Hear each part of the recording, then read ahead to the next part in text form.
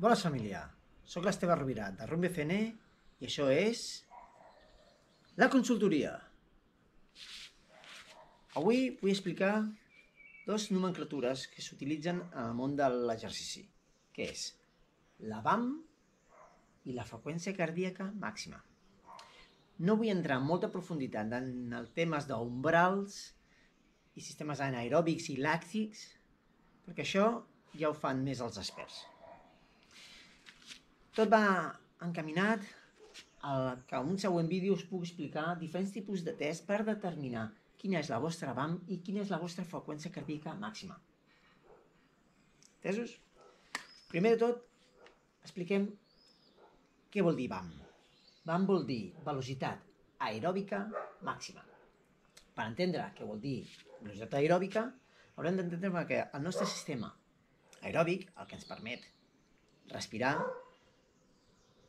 és el que ens determina quan podem córrer i mantenir aquest nivell de córrer i continuar corrents. D'acord? El nostre sistema aeròbic és el que ens permet, amb, amb el cor i amb els pulmons, determinar quan podem fer aquesta, aquesta cosa. Com podem saber quins tipus de resistència hi ha el nostre sistema aeròbic? Us explico. Si nosaltres correm 100 metres, molt ràpid,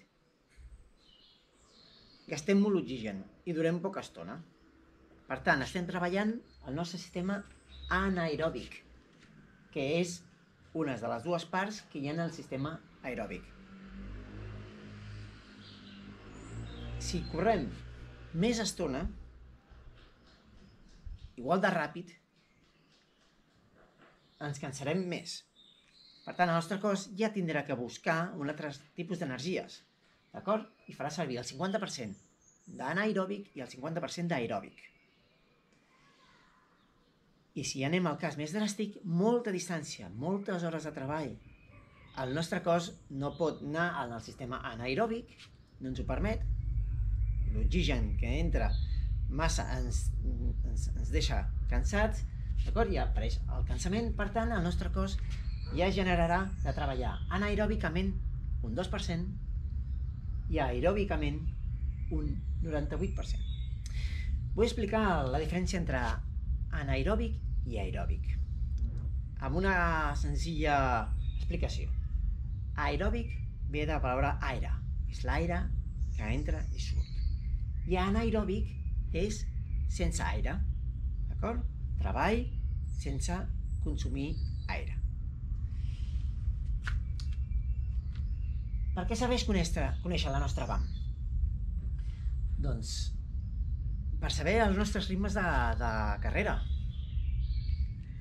per poder planificar els nostres entrenaments, perquè és diferent fer una sortida de carrera contínua a, a un 80% de la nostra BAM, que serà durant poca estona, a fer una carrera contínua al 85 ai, al 60% de la nostra BAM que podrà ser més llarga.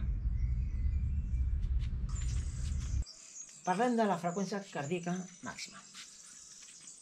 Per començar a explicar això hem de preguntar-nos, la freqüència cardíaca què és?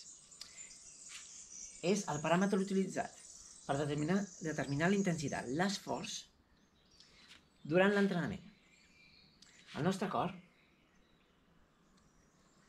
té, està determinat científicament que els homes podem, tenen 220 pulsacions per minut, generalitzat, és estadístic. I les dones 226 pulsacions per minut. Ni millor ni pitjor, diferent.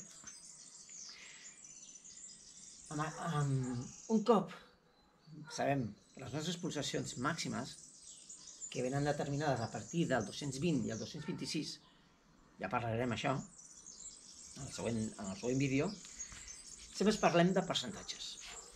D'acord? Us ho explico en aquest, en aquest, en aquest eh, apartat. Si tu fem un esforç determinat que la freqüència cardíaca ve determinat per l'esforç, per la intensitat. Si l'esforç que fem és molt suau, treballarem entre un 50 i un 60% de la nostra freqüència cardíaca i ens ajudarà a fer la recuperació activa. Si nosaltres treballem, fem un esforç suau, d'entre un 60 i un 70% d'aquesta freqüència cardíaca màxima, aconseguirem millorar la resistència i començarem a cremar greixos. Si fem un esforç moderat, que vol dir entre un 70 i un 80 de la nostra freqüència cardíaca màxima, soc pesat, millorarem la resistència anaeròbica, aquella d'anar anar una mica ràpids. Si fem l'esforç intens, entre un 80 i un 90% de la nostra freqüència cardíaca màxima, creix la resistència anaeròbica, que vol dir que l'ampliem. I si ja anem al màxim del nostre esforç, entre un 90 i un 100% d'aquesta freqüència cardíaca màxima, imagina que encara no la sabem, ens serveix per millorar la velocitat. Tot això. De què ens serveix conèixer la nostra freqüència cardíaca màxima? Doncs per saber què estem treballant durant l'entrenament. I per saber quan estem fent un esforç i quan estem fent una recuperació. D'acord? Ara juntem les dues coses. Ara coneixem el que és la BAM i el que és la freqüència cardíaca màxima. Podem fer una planificació personalitzada, perquè cadascú poden tenir la mateixa planificació, però els seus, els seus freqüències cardíaques i els seus BAMs són diferents. Per tant, seran entrenaments completament diferents. I de què serveix? Quin benefici obtindrem? Sabem la BAM i la freqüència cardíaca màxima. Doncs podem treballar sobre el nostre cos correctament i saludablement.